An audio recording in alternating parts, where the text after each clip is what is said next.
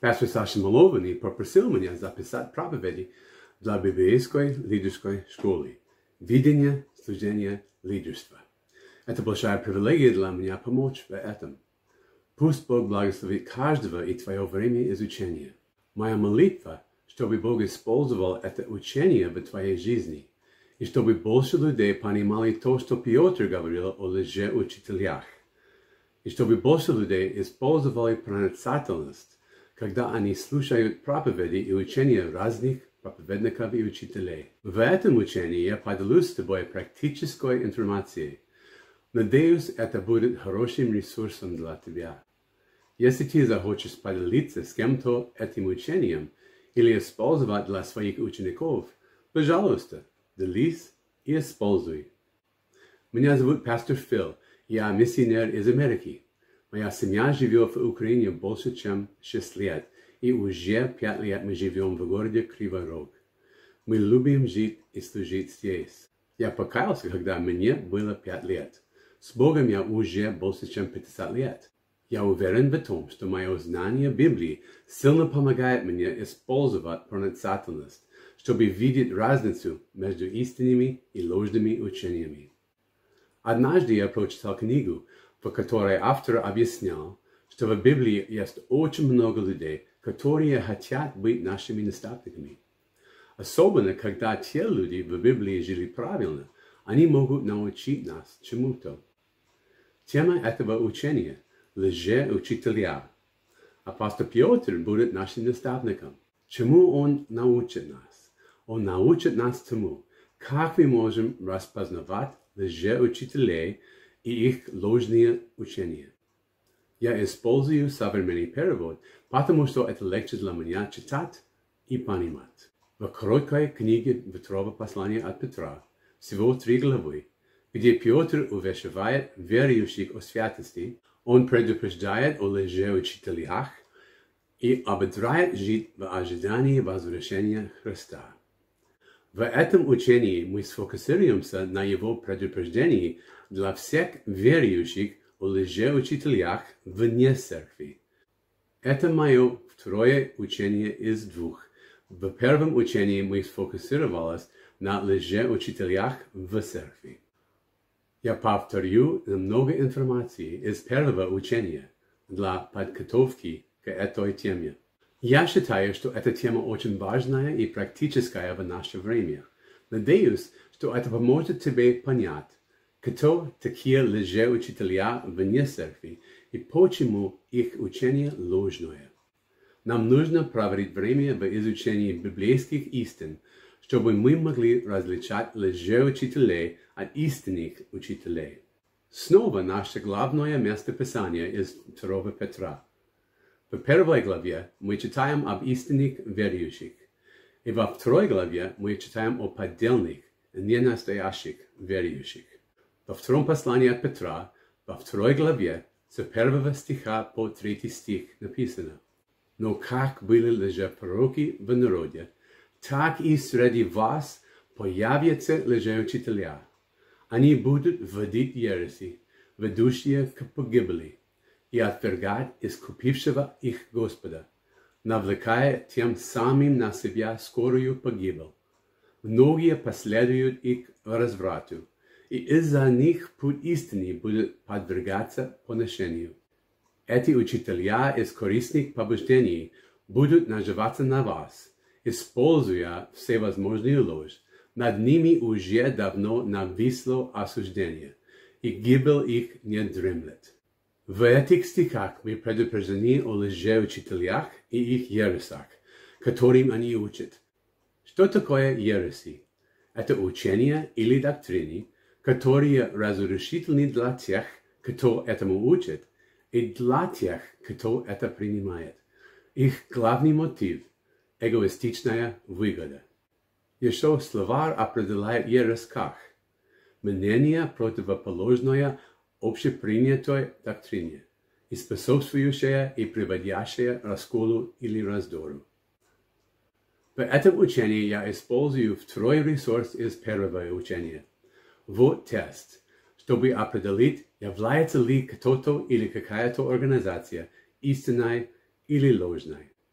Фундамент этого ресурса находится в первых двух главах второго послания от Петра, где идет сравнение между учителями истины из первой главы и лжеучителями из второй главы. Один пастор написал «Сатана – обманщик и фальшивомонетчик. У него ложное Евангелие, проповедуемое ложными служителями, которые насаждают ложных христиан. Сатана насаждает свои подделки везде, где Бог насаждает истинных верующих. Иисус говорил нам, что будет много тех, кто служил Ему, и которым Он скажет, «Отойди от меня, я никогда не знал тебя». Нам нужно знать Библию хорошо, в основном очень хорошо, чтобы понимать и различать точно, кто есть лжеучитель, а кто нет. Семь характеристик лжеучителей. Первая характеристика. У лжеучителей другой источник. Откуда их послание? Полностью ли их послание из Библии? Если нет, они являются лжеучителями. Вторая характеристика. У лжеучителей другое послание. Какое содержание их послания? Является ли Иисус центром их послания, или он только находится где-то на краю? Слушай их внимательно и ты поймешь, важен ли для них Иисус в послании или нет. Третья характеристика. У лжеучителей другие позиции. В каком положении тебя оставляет их послание? Куда их послание приводит тебя? К Богу и свободе от греха или от Бога к рабству? Четвертая характеристика. У лжеучителей другой характер. Какие изменения для людей несет их послание? Настоящие верующие следуют за Иисусом и развивают благочестивые качества и помогают другим верующим делать так же. Поддельные, не настоящие верующие не становятся похожими на Иисуса и имеют другие качества, например, гордость, жадность. Они презирают авторитет. Им присуще сплетничать. Пятая характеристика. У лжеучителей другое обращение – Почему ты должен слушать их послание? Истинный учитель обращается к Писанию и спрашивает, что Бог говорит в его слове. Лжеучитель обращается к чему-то другому и спрашивает, о чем люди хотят слышать. Шестая характеристика. У лжеучителей другие плоды. Какой результат их послания производит в жизни людей? Настоящие верующие эффективнее и продуктивнее в своих знаниях об Иисусе Христе. Поддельные верующие похожи на источник без воды. Они обещают много, но мало производят в своей жизни. Седьмая характеристика. У лжеучителей другой конец. Куда их послание в конечном итоге приведет тебя?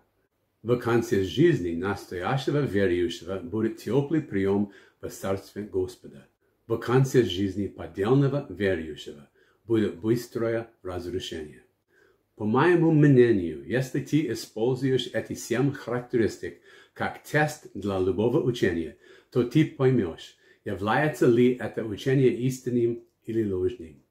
Я читал одну хорошую книгу, которая объясняет разницу между другими религиями, и она была очень хорошим ресурсом для меня. Во-первых, я объясню, что такое библейское христианство, как христианство разделилось, чем библейское христианство отличается от римско-католической церкви и православных церквей, что такое секта и как две секты, свидетели Иеговы и мормоны, отличаются от библейского христианства. Не все, кто считает себя христианином, действительно являются такими.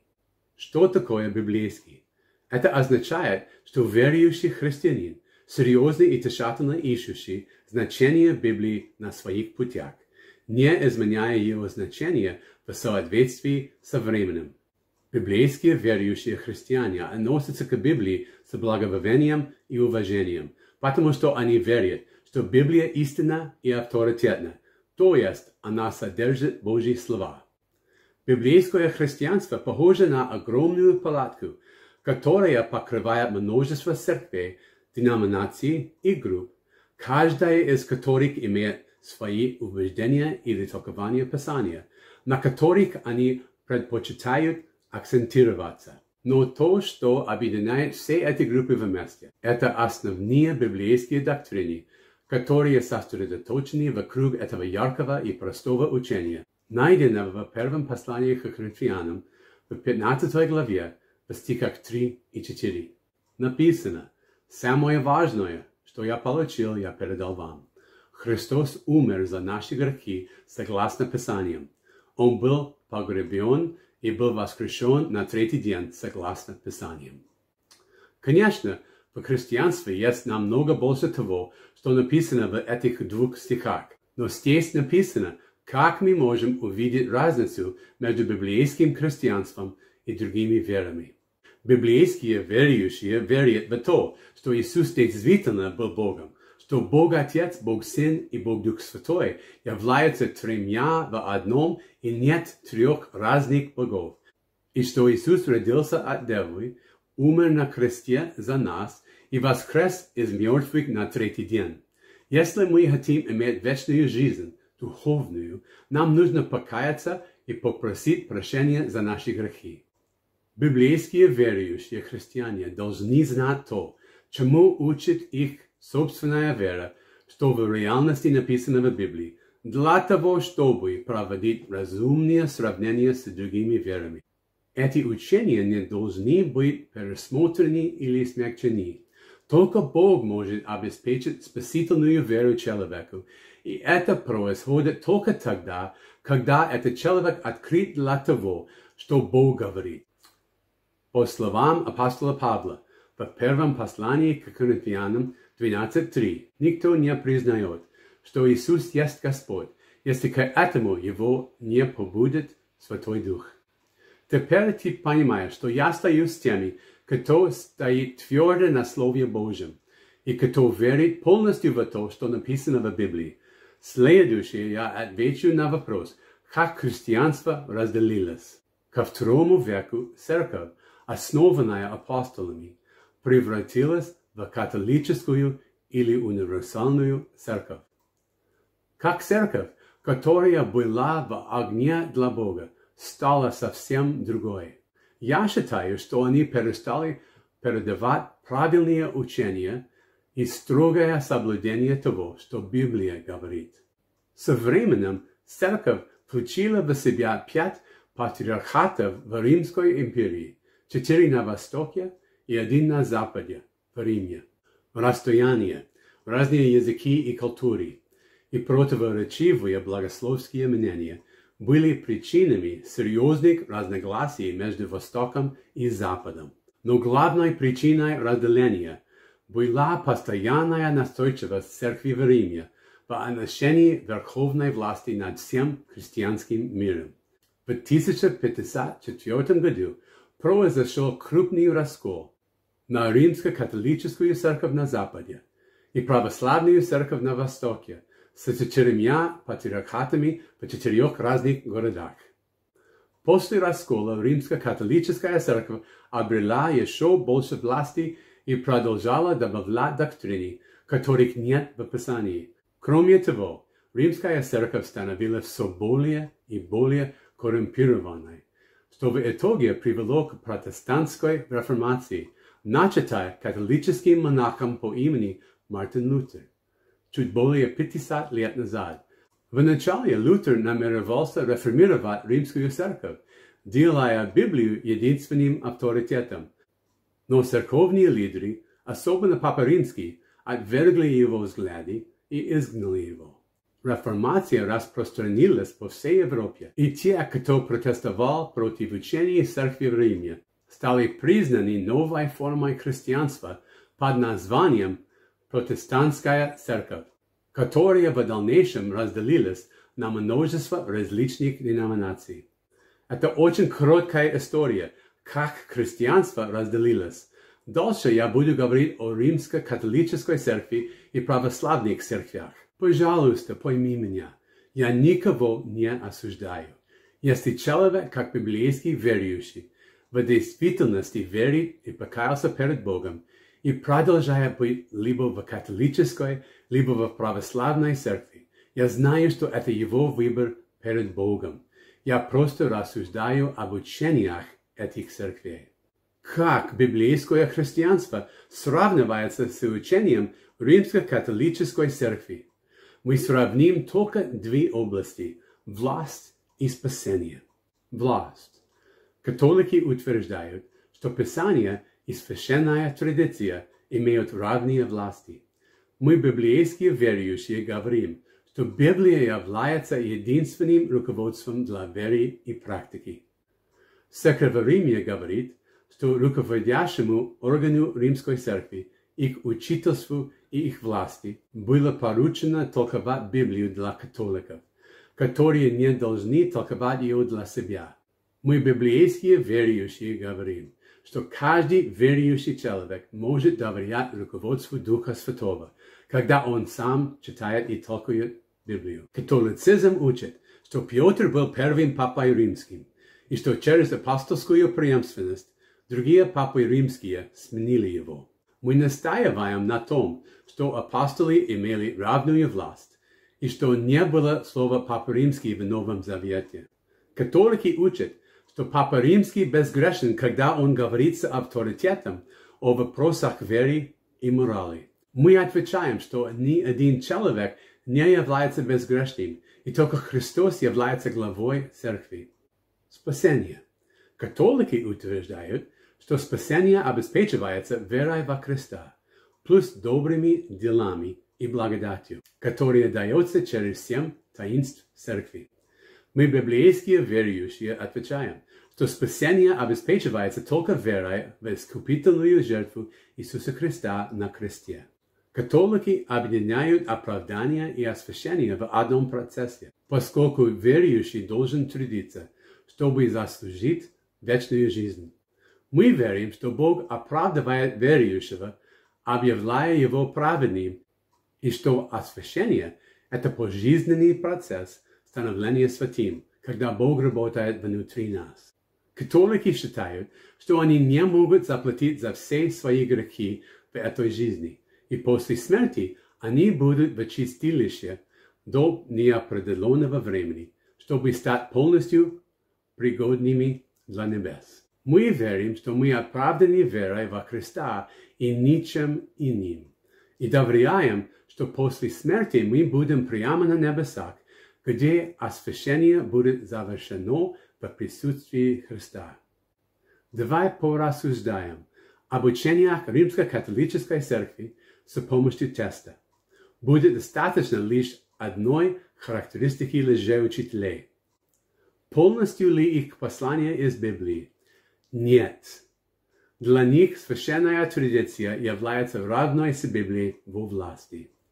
И этого хватает, чтобы сделать вывод, что римско-католическая церковь не учит тому, чему учит библейское христианство. Я могу сказать тебе, что их учение не соответствует ни одному из семи вопросов теста, либо полностью, либо частично. Православная церковь не такая, как римско-католическая без Папы Римского – Хотя есть много общего между православной и католической церквями, но есть и некоторые очень ключевые различия. Православие также не является одной большой церковью, которая отделилась от церкви в Риме в 1054 году и теперь имеет свое главное управление, которое находится в определенном городе. Есть, по крайней мере, 13 независимых и самоуправляемых церквей, включая тех четырех оригинальных древних патриархатов, которые все еще существуют, и два патриархата в Украине и в России. Православие оспаривает утверждение церкви в Риме в том, что римско-католическая церковь является единственной истинной церковью. После раскола, произошедшего почти тысячу лет назад, они стремились сохранить ту веру, которую они понимали в течение тех тысячи лет, и строго придерживаясь решений первых семи генеральных соборов церкви. Православная церковь утверждает, что на протяжении веков они сохраняли веру, в то время как церковь в Риме заблудилась в ереси из-за развития папства и утверждения абсолютного превосходства над всеми другими церквями. Как библейское христианство сравнивается с учением православной церкви? Мы снова сравним только две области – власть и спасение. Власть. Православные церкви учат, что апостольская преемственность происходила через епископов и церковных отцов, которые разработали традиции равные Писанию. Мы, библейские верующие, говорим, что на смену апостолам пришли не епископы или отцы церкви, а только Писание. Православные также говорят, что церковь обладает властью над Писанием, власть, которая является лишь частью более широкой традиции. Мы считаем, что Писание имеет высшую власть над церковью единственное руководство для веры и практики. Православные верующие послушны церковному толкованию Писания, тогда как мы верим в то, что мы сами можем толковать Писание для себя. Спасение. Православные учат, что человечество не пало от совершенного общения с Богом, но отошло от пути достижения совершенного общения, и что человечество унаследовало смертность и развращенность но в этом нет вины Адама. Мы, библейские верующие, учим, что человечество отпало от своего совершенного состояния с Богом и унаследовало вину Адама. Православные верят, что спасение достигается в процессе обоготворения, то есть в процессе становления божественным. Мы говорим, что оправдание приходит через веру во Христа, и тогда библейский верующий христианин становится освященным, пребывая со Христом. Давай рассмотрим учение православных церквей через тест, по которым мы сможем увидеть хотя бы одну характеристику лжеучителей. Полностью ли их послания из Библии? Нет. Их традиции являются равной с Библией во власти. И этого хватает, чтобы сделать вывод, что православные церкви не учат тому, чему учит библейское христианство, хотя то, во что они верят, ближе к нашим доктринам, чем то, во что верит римско-католическая церковь. Я могу сказать тебе, что их учение не соответствует вопросам теста, либо полностью, либо частично. И теперь мы продолжаем рассуждать о других религиях. Я не буду рассуждать об иудаизме, хотя мы разделяем веру в одного и того же Бога и в Ветхий Завет. Исламе, их Аллах и наш Бог не являются одним и тем же. Индуизме и буддизме, а также о многих других более мелких религиях и сектах, потому что все они явно не согласны с библейским христианством. Но я объясню, что такое секта, и потом расскажу о двух конкретных сектах, свидетелях Иеговы и мормонах. Что такое секта? Это религия, которая считается неортодоксальной или ложной. Когда библейские верующие христиане говорят о сектах, это просто означает, что группа не придерживается библейских взглядов. Есть пять качеств всех основных сект. Первое качество. Они отвергают Троицу, то есть они не верят в Иисуса Христа как Бога. Секты могут говорить хорошие вещи об Иисусе и дают ему определенную важную позицию, но они почти всегда критикуют или разрушают истинную библейскую божественность Иисуса Христа, либо опускают его до уровня человека – либо поднимают человека до его уровня. Второе качество. Сектанты обычно считают, что все христианские церкви ошибаются, и что их группа имеет единственную настоящую правду о Боге. Третье качество. Они утверждают, что верят Библии, но искажают ее учение под свой собственный, своеобразный взгляд. Касающийся человечества, Бога, Духа Святого, рая и ада, спасения и многих других доктрин. Они обычно находят источник этих своеобразных убеждений в своих лидерах, которые утверждают, что имеют новые толкования Библии или даже ценные дополнения к ней. Четвертое качество. Все секты отрицают, что люди могут быть спасены только верой во Христа. Они учат своих членов тому, что они могут стать праведными перед Богом, благодаря добрым делам и послушанию доктринам и требованиям, которые секты установили как Божью волю для их жизни. Пятое и последнее качество. Секты умело используют христианскую терминологию, но они не говорят на одном языке с библейскими верующими христианами. Остерегайтесь смыслового барьера. Обычно понимаемые нами слова, такие как Бог, Христос, вера, грех, спасение и так далее, означают совсем разные вещи для сектанта и верующего христианина. Таким образом, первая задача – это определить термины, когда ты делаешься с кем-то своей верой. Для свидетелей Иеговы все усилия и инструменты для свидетельства предназначены для того, чтобы противостоять и противоречить библейским доктринам и учениям и перекручивать Писание, чтобы сделать Библию соответствующей предвзятой теологии, которая Библия просто не учит. Одним из этих основных инструментов общества сторожевой башни. Это их собственная версия Библии, которая заполнена ошибочными переводами, доказывающими их доктрины.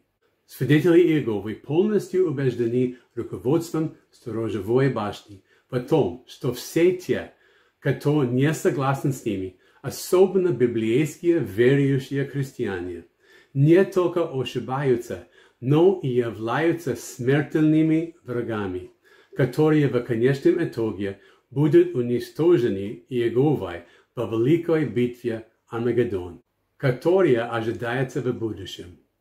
Руководство сторожевой башни строго контролирует свидетелей Иеговы и постоянно им говорит, что они никаким образом не могут толковать Библию сами для себя.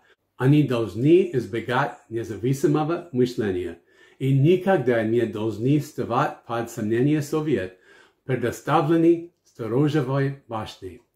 Будучи подростком, Чарльз Рассел, основатель свидетелей Иеговы, отверг многие взгляды, которым обучала его церковь, в особенности доктрине ада и троицы, доктрине, которые казалось ему необоснованными. Какое-то время этот парень был скептиком, но вскоре на него повлияло учение адвентистов, которое заверило его, что вечного наказания нет, потому что нечестивые люди были уничтожены. К тому времени когда ему было 18 лет, Рассел организовал свою собственную домашнюю группу и начал развивать свою собственную систему богословия, подчеркивая второе пришествие Христа. В 1879 году, по возрасте 27 лет, он расстался с адвентистами и запустил свой собственный журнал, который свидетели Иеговы до сих пор распространяют. Рассел установил 1914 год как год битвы Армагеддон, когда Бог уничтожит все правительства земли и время язычников и установит свое царство. Рассел никогда не имел никакого формального богословского образования, и его бурная карьера включала в себя разоблачение в суде в 1912 году в качестве лжесвидетеля. Он утверждал, что знает греческий алфавит, но при экспертизе он не смог считать греческие буквы. Тем не менее, он написал серию из шести книг под названием «Учение в Писаниях», которую он описал практически как Библия. Когда Первая мировая война началась в 1914 году, Рассел утверждал, что это начало Армагеддона. Но Армагеддон так и не начался ни в том году, ни даже в следующем. Рассел умер в 1916 году, как неудачный пророк сторожевой башни, но он не был последним. Последующие лидеры давали другие даты для Армагеддона, все из которых оказалось ложными. 1925 год лидер утверждал, что его последователи неправильно поняли. 1975 год, который должен был стать абсолютно окончательной датой Армагеддона, и снова лидеры утверждали, что последователи неправильно поняли то, что было сказано. Было также много предполагаемых дат, когда лидеры говорили, что Армагеддон будет неизбежен. Они перестали давать конкретные даты после 1975 года, но все это время они меняли учение прошлого, чтобы они могли поддерживать свои новые даты и теории, называя их «новый свет». Несмотря на их неоднократные ошибочные пророчества, свидетели Иеговы яростно настаивают на том, что они никогда не давали никаких ложных пророчеств. Как библейское христианство сравнивается с учением свидетелей Иеговы. Мы сравним четыре области. Первая – власть. Вторая – Троица, Божественность Христа и Его воскресение. Третья – спасение. И четвертая – возвращение Иисуса и бессмертие человечества. В их учении много других доктрин, которые мы могли бы сравнивать, но этого будет более чем достаточно. Первая – власть. Свидетели Иеговы не могут думать самостоятельно и должны твердо придерживаться решений и понимания Писания сторожевой башни. Мы, библейские верующие, зависим от руководства Святого Духа, когда мы читаем Писание и учимся слушаться Бога, а не человека. Вторая – Троица, Божественность Христа и Его воскресение. Свидетелям Иеговы трудно поклоняться триединому Богу. Они называют Иисуса могущественным Богом, но с маленькой буквы «Б». Но не всемогущим Богом с большой буквы «Б» или Иеговой. Они говорят, что Иисус воскрес из могилы, но не физическое тело, а дух. Мы библейские верующие верим, что Бог триедин, три равные личности, которые существуют как одно божественное существо. Мы тоже верим, что Христос является божественной в трой личности Троицы и равным Богу Отцу и Богу Святому Духу. И для нас это очень важно, что его тело воскресло из могилы, потому что ученики касались его тела, и он кушал перед ними. Третье. Спасение. Свидетели Иеговы говорят, что смерть креста обеспечивает возможность для людей работать для их собственного спасения. Мы, библейские верующие, верим, что смерть креста полностью заплатила за все грехи человечества, и что верующие свободно оправдываются Божьей благодатью через искупление во Христе. Четвертое. Возвращение Иисуса и бессмертие человечества. Свидетели Иеговы считают, что Христос вернулся на землю невидимо и незаметно в 1914 году и теперь правит с небес невидимым человеческому зрению. Они утверждают, что у человека нет бессмертной души, и при смерти дух человека, или по их словам, жизненная сила, уйдет и больше не будет существовать. Мы, библейские верующие, верим, что Христос вернется на землю физически, заметно и слышно, и что у человека есть вечная, бессмертная душа, то есть дух, который при смерти либо будет со Христом, либо ожидает суда. Давай подумаем об учении свидетелей Иеговы используя тест из семи характеристик лжеучителей. Первая характеристика. Полностью ли их послание из Библии? Нет. У них свой перевод Библии, который наполнен неправильными переводами, предназначенными доказывать их доктрины. Это хватает, чтобы мы решили, что они являются лжеучителями. Но мы продолжаем рассматривать следующие характеристики. Вторая характеристика. Является ли Иисус центром их послания? Точно нет. Он только находится где-то на краю. Для них Иегова является всемогущим Богом, а Иисус только могущественным Богом с маленькой буквы «Б». И они больше ожидают Армагеддона, чем возвращение Иисуса, так как они думают, что Иисус вернулся больше, чем сто лет назад. Третья характеристика. По каком положении тебя оставляет их послание? Куда их послание приводит тебя? К Богу и свободе от греха или от Бога к рабству? Их послание ведет тебя к их учению и не приближает тебя к Богу. Когда их люди стоят везде, чтобы проповедовать людям, в их литературе звучит такой вопрос. Хочешь ли ты знать истину? И ответ таков. Тебе нужно искать истину на их веб-сайте, а не в Библии. Четвертая характеристика. Какие изменения для людей несет их послание? Они не находятся в мире с Богом, и у них нет уверенности в спасении, потому что они трудятся для своего спасения. Пятая характеристика. Почему ты должен слушать их послание? потому что ты можешь достигать небеса только через их послание, которому их учит руководство, а не тому, что говорит Библия. Шестая характеристика. Какой результат их послания производит в жизни людей? Свидетели Иеговы живут без уверенности в Иисусе. Они покорно служат, проповедуют и ходят на собрания. И они сами не могут думать о том, что им Библия говорит. Седьмая характеристика куда их послание в конечном итоге приведет тебя. Если человек не становится избранным, тогда после смерти он перестает существовать. Семь характеристик, и в каждой из них свидетели Иеговы полностью провалили тест. Они являются лжеучителями и учат против учения библейского христианства, даже тогда, когда они говорят нам знакомые слова о Боге.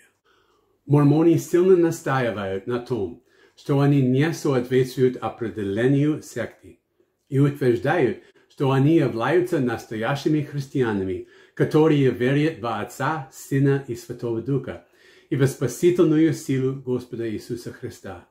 Первое различие между учением мормонов и библейского христианства заключается в семантике или смысле.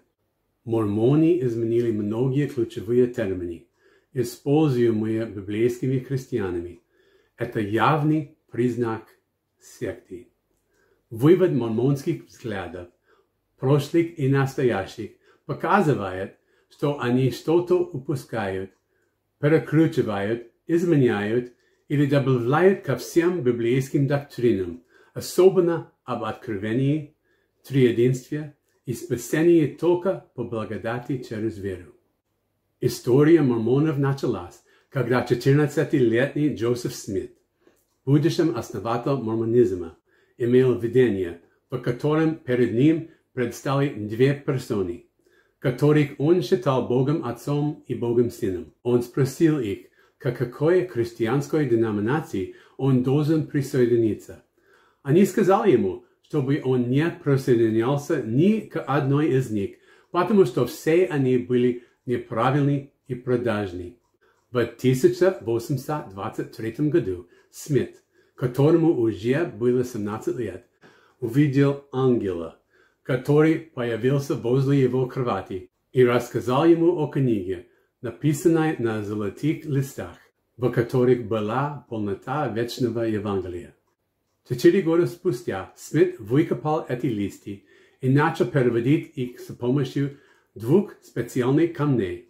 Когда он переводил текст, он сидел за занавеской, смотревший в шляпу, используя камни, якобы читая строки книги Мормона. Использование камней, чтобы получить недоступную информацию, Соя шо является популярной оккультной практикой в современном колдовстве. Несмотря на мормонские отрицания оккультных практик Смита, бесспорные доказательства показывают, что в 1826 году он был осужден за использование такого способа с камнями, потому что те, кто это делал, часто были мошенниками. К 1830 году Смит издал книгу «Книга Мормона», а спустя пять лет еще одну книгу под названием «Доктрины и заветы». Позже, в конце XIX века, другая книга «Драгоценная жемчужина» была издана из документов, которые Смит написал. Все эти три книги стали для мормонов вдохновленным писанием вместе с Библией. Из-за неправильного использования своей власти, как главный города и генерала-лейтенанта легиона из четырех тысяч человек, он оказался в тюрьме в ожидании суда. Толпа около двухсот человек напала на здание, где он был, и завязалась перестрелка. Мормони утверждают, что их основатель умер как христианский мученик, но правда в том, что он умер, сражаясь, используя шестизарядный револьвер, который был заставлен ему контрабандой. Бригам Янг победил в борьбе за власть и лидерство и привел большую группу мормонов в западную часть США, штат Юта. Янг учил, что Иисус был зачат через буквальные сексуальные отношения между Богом Отцом и Девой Марией. Как библейское христианство сравнивается с учением мормонов? Мы сравним четыре области. Первая – Писание. Вторая – Бог и Троица. Третья – грех и спасение. И четвертая – небеса. В их учении много других доктрин, которые мы могли бы сравнивать, но этого будет более чем достаточно. Первое – Писание. Мормони верят, что канон Писания не закрыт и что современное откровение необходимо. Бог продолжает говорить, потому что Он неизменен. Они принимают, как Писание, их три особенные книги плюс Библию с примечанием, что Библия является Словом Божьим, насколько это переведено правильно. Мы, библейские верующие, считаем, что канон Писания закрыт – и принимаем Библию только как Писание, полагая, что оно богодохновлено и завершено, и в нем содержится та вера, которая раз и навсегда была доверена святым. Вторая. Бог и Троица. Смит учил, что у Бога Отца тело из плоти и костей, и также материально, как у человека. Они считают, что провозглашают вечную истину, Бог однажды был как человек. Человек может быть таким, как Бог. Он также сказал, что доктрина триединства была путаницей, несоответствий и противоречий. Смит учил, что Иисус Христос, Бог Отец и Святой Дух были тремя разными личностями и тремя богами. Мы, библейские верующие, верим, что Бог есть Дух и Создатель Вселенной. Библейский Бог говорит, «Я Бог, и другого нет, и не было Бога прежде меня, и после меня не будет». Слово «троица» означает «триединство» и подводит итог учения Писания о том, что Бог — это три личности, но все же является единым Богом. Третье. Грех и спасение. Смит учил, что люди будут наказаны за свои собственные грехи, но не за согрешение Адама. Книга Мормона говорит, что Адам и Ева были предопределены грешить, чтобы обеспечить отцовство для духовных детей Бога, которые ждали опыта земной жизни. По словам одного из их лидеров, общее спасение означает, что все люди спасены только благодатью, Полное индивидуальное спасение приходит только через мормонскую организацию. И без мормонского священства и непрерывного откровения не было бы никакого спасения. Мы, библейские верующие, верим, что спасение – это свободный дар, обеспеченный Божьей благодатью всем, кто верит во Христа и Его искупительную жертву на кресте. Мы делаем добрые дела не для того, чтобы заслужить спасение, а потому что у нас есть спасение. Четвертое. Небеса. Смит учил, что большая часть человечества войдет на один из трех небесных уровней – телесный, земной или небесный. Один из мормонских лидеров учил, что вечная жизнь на небесном уровне только для мормонов. Мы библейские верующие верим, что небеса являются местом обитания Бога, местом, которое станет домом для всех верующих в полном искуплении Христа за личные грехи. Быть на небесах – это быть в присутствии Христа. Давай подумаем об учениях мормонов с помощью теста из семи характеристик лжеучителей. Первая характеристика. Их послание полностью из Библии. Нет, у них три собственные книги, которые являются равными с Писанием. Этого хватает, чтобы мы решили, что они являются лжеучителями, но мы продолжаем рассматривать следующие характеристики. Вторая характеристика. Является ли Иисус центром их послания? Точно нет. Основой их послания являются мормонские доктрины и то, чему учат их лидеры. Третья характеристика. Каком положении тебя оставляет их послание? Их послание ведет тебя к их учениям и доктринам. Четвертая характеристика. Какие изменения для людей несет их послание? Они не находятся в мире с Богом и все еще трудятся, чтобы получить наивысший уровень рая, но без гарантии. Пятая характеристика. Почему ты должен слушать их послание? Мамони говорят, что без спасения через мамонское учение ты не можешь быть спасен. Шестая характеристика. Какой результат в жизни людей производит их послание? Мамони живут без уверенности в Иисусе, так как они только следуют по пути, который Он открыл для них. И они не могут думать сами о том, что Библия им говорит. Седьмая характеристика. Куда в конечном итоге их послание приводит тебя? Три уровня небес только для тех, кто заслужил это. Они не говорят, что это место, где Бог живет. Семь характеристик, и в каждой характеристике мормони провалили тест полностью. Они являются лжеучителями и учат против учения библейского христианства. Это учение немного сложнее, чем моя обычная проповедь, но это очень важная тема. Я хочу поощрить тебя. Используй эту практическую информацию тогда, когда ты слушаешь учение, по которым ты не уверен. Когда ты задаешься вопросом об этом учении, истинное оно или ложное. Не бойся обговаривать это с кем-то, кому ты доверяешь, чтобы быть уверенным.